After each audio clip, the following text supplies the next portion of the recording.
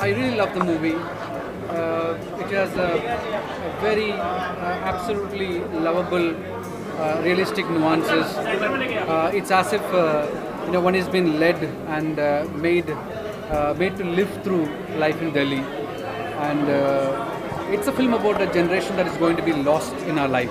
यार एक दुनिया में होता है कि वो फलना बड़ा बु- बुरा है बुरा है बुरा है सब बोलते हैं और आप एक इमेज बना लेते हैं कि वो बुरा है लेकिन आप जब उससे मिलते हैं तो लगता है नहीं, गलत था।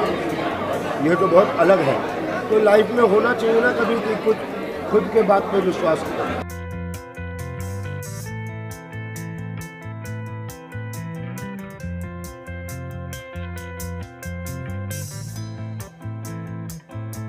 I loved it actually. Uh, Rajat and uh, you know all of us go back a really long way. I've been, uh, you know, I remember reading the script even when it was not made and it, when the actors were not cast as yet for the film. And as a friend, he was like, you know, Neha, I'm making Aankho Dekhi. That's my next film. Why don't you read it?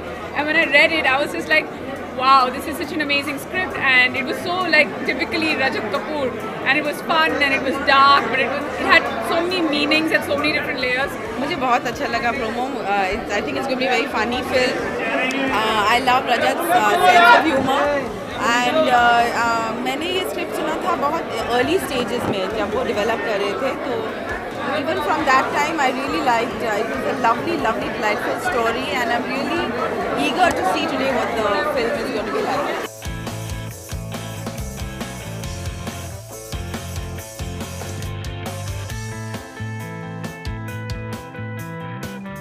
As always, I'm expecting to see a good film uh, because one expects that from Rajat. Uh, I also have got the soundtrack of the film, which I believe is exceptional.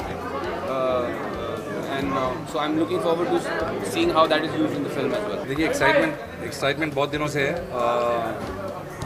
Excitement बहुत दिनों से है film काफ़ी दिनों से बन रही है finally when it comes to a release reach an audience it is very exciting